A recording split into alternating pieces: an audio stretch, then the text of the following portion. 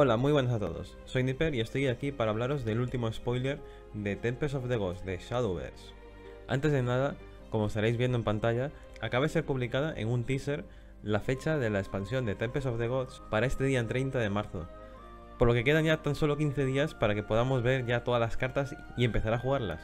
Y sin más dilación, empezamos con las cartas del spoiler de hoy. Empezaremos hablando de la carta de Dragoncraft Bronce Hippocampus. Esta criatura mitológica es una carta de coste 5 con 3 de ataque y 5 de defensa. Diría que es un nivel intermedio de carta, puesto que tiene ward, pero si la evolucionas pierde ese ward. A cambio pasa a tener 7 de ataque y 7 de culo, por lo tanto estarías pagando su coste.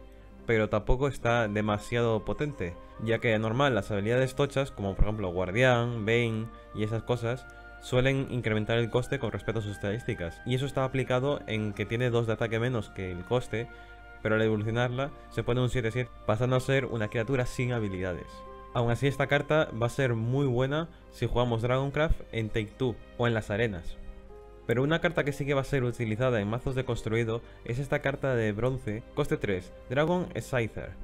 Es una criatura 2-2 con Bane y que gana Tormenta si tienes el Overflow activo. Es una criatura muy útil puesto que puedes tener en late game una criatura con Bane que mate al que está delante y aún te quedarían 7 manas para poder jugar el resto de cosas. Por lo que la veo una carta muy potente en mazos que sean full agro de Dragoncraft, como por ejemplo jugarla a ella primero, limpiar lo que haya en mesa e inmediatamente después jugar a la Dark Dragon Forte, esa criatura que es 5 de ataque, 1 de defensa y que no puede ser atacada, pero entra con tormenta, con lo cual te podrías fumar bastante la vida del rival en un solo turno.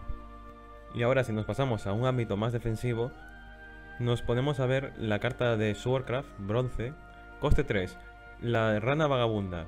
Es una criatura 1-2 que tiene la cualidad de que al finalizar cada turno entra en ambush.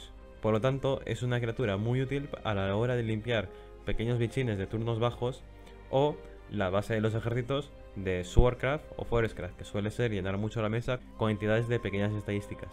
Pero a la hora de limpiar entidades de pequeñas estadísticas está el Cat esta carta tan fea de los neutrales, que es una criatura de coste 2, 2 de ataque, 1 de defensa, pero que tiene la habilidad especial de Clash, con la cual destruye a la criatura enemiga si ésta tiene un punto de ataque o menos.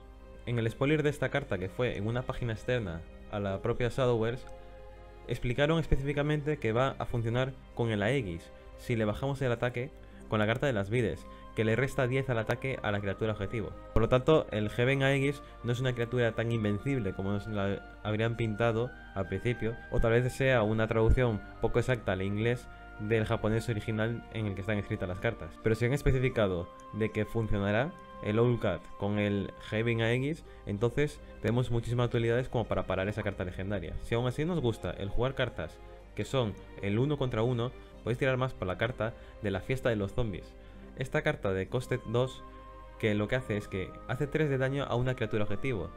Y si la pagas con enance de 7, invocas a 3 zombies después de hacer esos 3 daños. Por lo que puedes estar haciendo daño a una criatura que es un problema o incluso llegándola a matar y llenar la mesa de zombies. Así que que no nos extrañe que veamos muchos mazos dedicados de Shadowcraft enteramente a la sinergia con los zombies. Además de que tiene una sinergia bastante curiosa con el talismán neutral de Test of the Strange, el test de la fuerza. Es un amuleto que tiene dos contadores y mientras este talismán esté en juego, los jugadores no pueden ser atacados siempre y cuando tengan alguna criatura que pueda hacerlo de su bando. Por lo tanto, siempre que tengas criaturas en mesa, tendrás escudos, es como si tuvieran war involuntariamente. O incluso mejor, porque recordemos que hay cartas que hacen ignorar el war. Esta carta va a tener una sinergia bastante marcada con el Mordecai duelista, puesto que siempre que muere, vuelve otra vez a la mesa. Entonces, estaríamos hablando de que lo atacan, muere, justo cuando finaliza ese ataque, vuelve otra vez a la mesa y la siguiente criatura tiene que volver a atacarla a él, una y otra vez. Mordecai entonces estaría siendo un petabichos del turno del rival que te estaría limpiando mesa o simplemente haciendo que durante los turnos en los que este talismán esté en juego no puedan atacarte a la cabeza. Aún así no penséis que esta carta va a romper el juego, puesto que al ser de coste 3 y Mordecai de coste 8 no pueden jugarse en el mismo turno. Además de que el factor más negativo de esta carta es que también funciona en la dirección contraria. Yo lo veo más en mazos dedicados a hechizos o el Mordecai. Y hablando de Mordecai, también ha salido una carta de plata de Runecraft que tiene una funcionalidad parecida pero un poco diferente. Porque es una criatura de coste 2 2 de ataque, 2 de defensa, que como últimas palabras performa con Errite. Por lo tanto, si tienes un Errite en mesa y esta criatura muere, romperías ese talismán y activarías la habilidad, que es invocar a una copia de esta criatura, que entraría sin evolucionar, obviamente. Puede parecer buena, así de buenas a primeras, teniendo en cuenta que es de Runecraft. Y dices, ostras, un Mordecai de Runecraft. No. En realidad es una carta que yo no la veo del todo fuerte, puesto que para poder utilizar su habilidad tienes que estar gastando Earrites. Que vale, que puedes tener un mazo en el que fabricas muchos Earrites, pero ¿y si no los tienes en el momento apropiado? O, ¿y si los quieres guardar? También cabe la posibilidad de que te lo maten en el turno del rival para romperte talismanes de Earrite y quitarte opciones para usar tus hechizos que hagan funcionalidades con ellos. Yo le veo una carta que te la puede liar a ti mismo sin tú buscarlo si el otro sabe jugar contra ella. Y tratándose del mazo de ERT, pues hay cartas mucho mejores que él. Algo similar le pasa a la carta plateada de Heavencraft Calodian Boar, esta carta de coste 6 con 4 de ataque y 4 de defensa que tiene Rush y al jugarla le quitas un contador a todos tus talismanes. Es una carta que puede ser muy útil, pero hay que recordar también que tiene coste 6 y por lo tanto gastarías muchísimo mana en el turno que lo jugaras para una habilidad que tienen otras muchas otras cartas. Pero si queremos buscar así un combo rápido, podríamos estar pensando en que tuviéramos un estatua de Seraph en mesa, al cual ayudaríamos a quitarnos el problema que tenemos delante, porque el problema de estatua de Seraph, lo conocemos todos, es que gastamos muchísimo mana en un turno y no podemos dedicarlo a otra cosa. Entonces el rival, al ver un estatua de Seraph, se vuelve un poquito loco y suelta los bichos más gordos que tiene. Con el Calodian Boar lo que puedes hacer es defenderte atacando con el Rush sin tener que gastar evoluciones. Y así profundizar un poquito además en el estado de Seraph intentando alcanzar ese punto en el que ganas la partida automáticamente. Otra carta que tiene un problema similar es esta de Runecraft, la Quimera, de coste 9, 4 de ataque, 4 de defensa. Cuando entra en mesa hace 4 de daño a una criatura enemiga. Y con Spellboost le bajas el coste, igual que si fuera otra carta de esta de Spellboost que es criatura. El problema que le veo a esta carta es que el daño que hace es un daño que no es demasiado grande, ya que está siendo destinado a una criatura y que has estado spellboostándola para poder ser jugable. Si esta carta en lugar de hacer 4 daños a una criatura hiciera 2 de daño en la dirección que tú quisieras, yo la vería muchísimo más útil de lo que es actualmente, aún con el coste que le han puesto. Además de que si se jugara una Daria, se quedaría en un coste demasiado alto como para poder jugar ambas cosas o que sea determinante. En resumen, otra carta que se quedará en el baúl de los que sean demasiado frikes como para poder jugarla.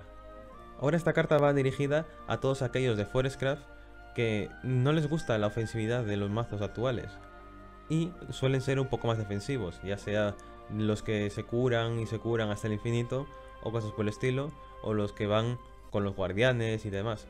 Esta carta lo que hace es que es un talismán con dos turnos de contadores de tiempo y te hace un mini Robin Hood de coste 3 que hace que siempre que las criaturas ataquen a tu líder, les haces 2 de daño antes de que ellas hagan el daño.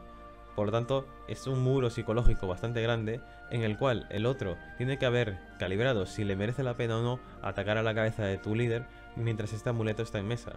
Y no es tan fácil de matar como si fuera un Robin Hood, ya que Robin Hood es una criatura y esto es un amuleto.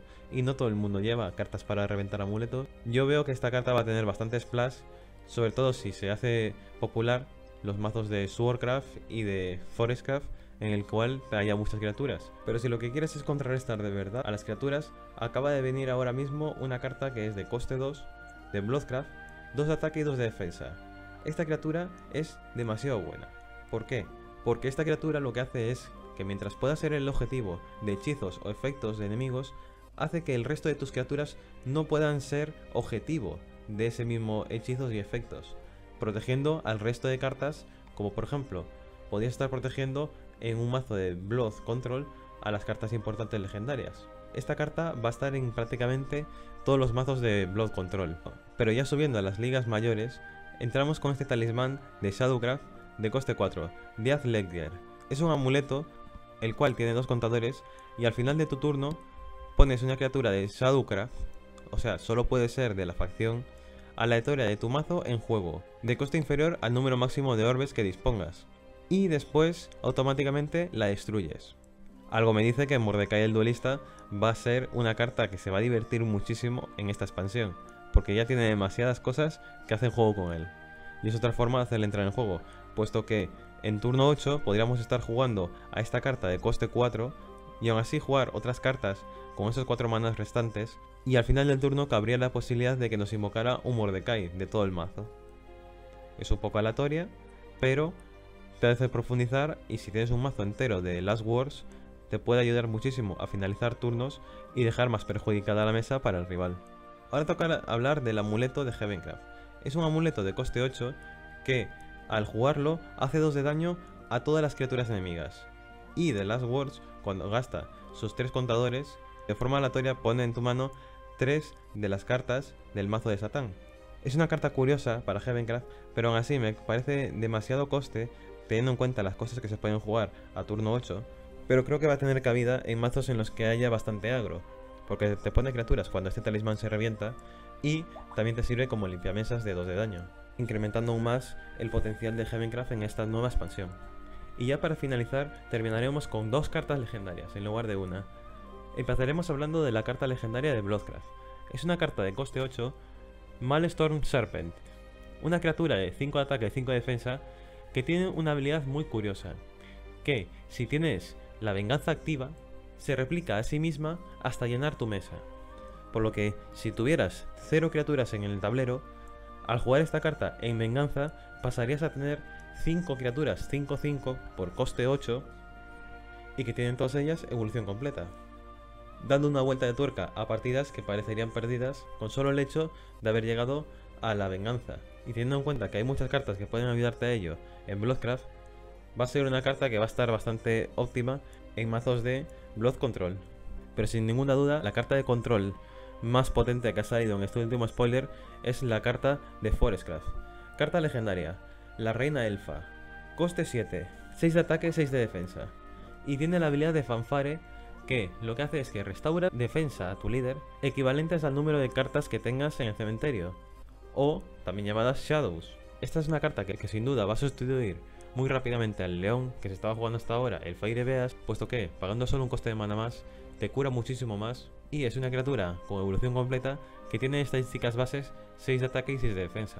Pero por la segunda parte de la habilidad que lo que hace es que después de usar la curación te quedas con 0 Shadows, o sea, te quitas todo el cementerio y desaparece, entonces carece de total sinergia con el Path of Purgatory, por lo que estas dos cartas nunca van a estar unidas en el mismo mazo. Además de que esta habilidad que lo que hace es que te deja hacer Shadows, impide de que puedas spamearla. Por lo que yo no creo que hayan más de dos cartas de estas en el mazo, más que nada por el tema de la probabilidad de que te toque, ya que con tres las probabilidades son demasiado altas y puede que las cojas demasiado juntas entre sí, gastando 7 manas para una criatura 6-6 que a lo mejor te llegaría a curar de 2. Aún así no sería una cura menospreciable. Y un mazo en el que se fabriquen muchas aditas puede ser muy útil, por lo que en la nueva expansión a Forestcraft habrá que intentar matarla toda de un solo turno y no intentar dañarla en diferentes turnos, no vaya a ser que nos tire a una Elf Queen y se levante la vida hasta arriba. Haciendo de Forestcraft uno de los mazos más defensivos que nos vamos a encontrar en Tempest of the Gods. Y hasta aquí ha sido todo sobre el spoiler de hoy, el cual nos ha desvelado bastante la dirección que van a tomar algunos mazos, como el de Forestcraft, del cual no sabíamos mucho, y ahora sabemos que va a ser un mazo bastante defensivo o que va a tirar a potenciar esa defensividad que, no tenía antes y que además nos ha quitado la duda que teníamos sobre el Aegis de si era tan invulnerable como nos pensábamos por el texto que nos mostraron en inglés. Y os recuerdo que tan solo quedan 15 días para que todas estas cartas sean jugables. Hasta entonces y mientras tanto, os seguiré informando a medida que vayan saliendo los nuevos spoilers. Nos vemos en el próximo vídeo. Hasta luego, hasta otra.